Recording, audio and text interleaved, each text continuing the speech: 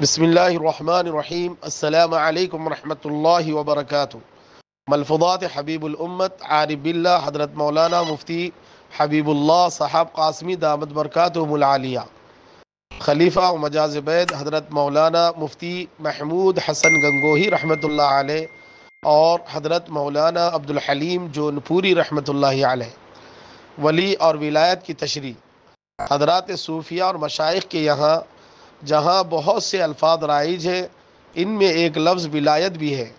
عام لوگوں کی زبان پر بھی عموماً یہ لفظ دوران گفتگو جاری ہو جاتا ہے کہ فلاں تو اللہ تعالیٰ کا ولی ہے۔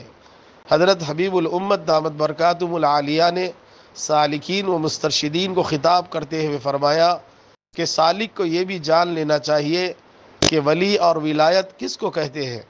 اور یہ یاد رکھنا چاہیے کہ لفظ ولی اتنا عام لفظ نہیں ہے جتنا عام لوگ سمجھتے ہیں۔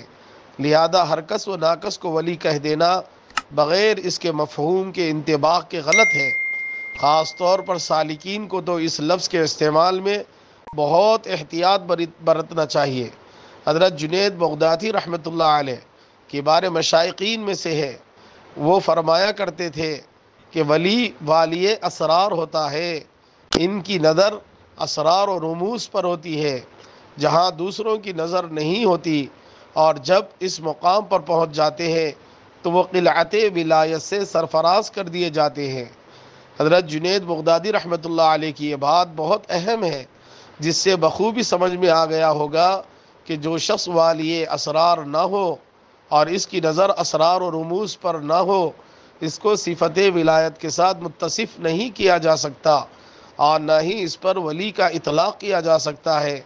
اس لیے اس حقیقت کو ہر سالک کو چاہیے کہ ذہن نشی کر لے اور الفاظ کے اطلاقات میں عند المشائق مفاہیم معتبرہ کی اعتباریت کا فقدان نہ ہونے دے، جو انتہائی اہم و ضروری ہے۔ بآواز مفتی عمر ابو بکر الملہ الحسینی، خلیفہ و مجاز بید حضرت مولانا مفتی حبيب الله صاحب قاسمي دامت بركاتهم العالية